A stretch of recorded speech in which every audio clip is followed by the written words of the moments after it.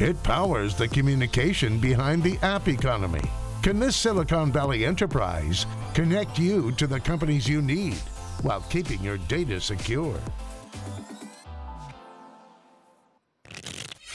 Let's talk Twilio. Here's a phenomenal software company that helps app developers create and manage reliable communications processes via the cloud. In plain English, their platform is used by pretty much any app that sends you text messages. Think Uber, Airbnb, Twitter, Yelp, Netflix, many others.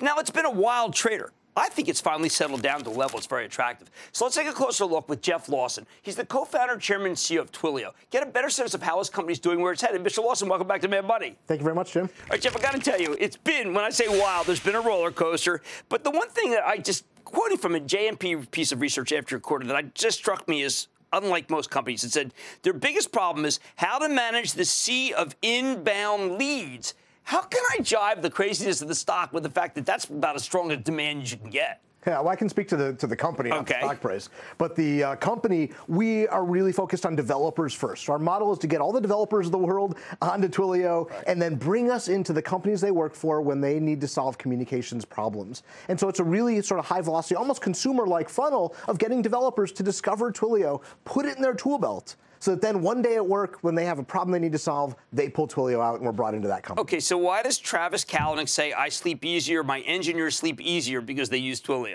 Well, because they trust us with their communications. We allow drivers and riders to communicate with each other via the app in a secure and anonymous way. So that if you call the driver from inside the app, you're not giving the driver your personal phone number. Okay, now, if Twitter didn't have Twilio, what would Twitter be? If Twitter if, if Uber? If they didn't have, no, I'm sorry, if Uber didn't have Twitter, sorry. If Uber didn't have Twitter, I mean, you would just be directly. yeah, in, in, fact, when they first launched Uber, that's what right. it was. You would call the driver, but there's always concerns like, who am I giving my phone number to? Right.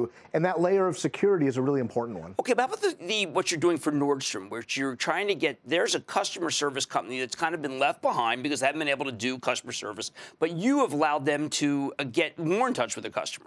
Absolutely. What they wanted is for customers to be able to text with their associates and be able to talk to the salespeople to get product recommendations, find out when products come into stock. But again, a similar thing, right? You don't want to give your phone number to any salesperson. Right. And, you know, and Nordstrom wants to make sure it's integrated with their CRM so they can keep track of everything. And so they use Twilio to build this app that allows their salespeople from a mobile phone uh, to be able to see their customers and without revealing the personal details, the personal right. phone number of all of their customers, be able to text and have this great experience having a personal one-to-one connection right. with their customers. Okay, now what what are you doing? Is it similar with Home Depot? Are you doing the same thing with them?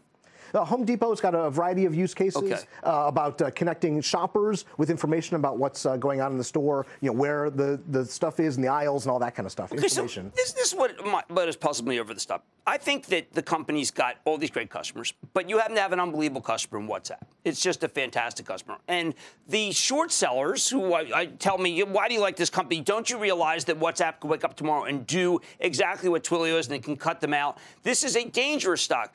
Why is that? Are you that easy to cut out?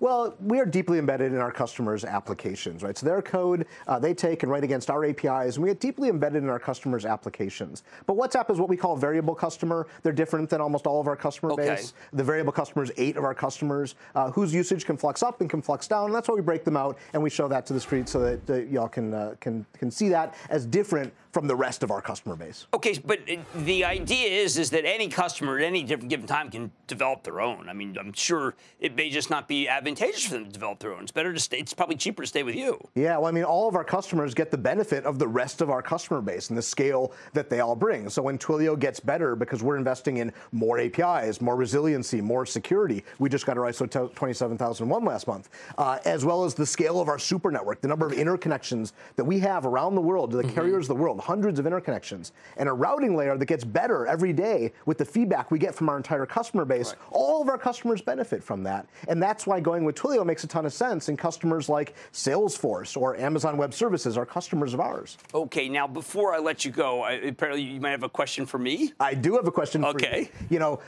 developers are building amazing things with Twilio, but it's actually really easy to write code and do amazing things. No, you would can't write code unless you went to Stanford.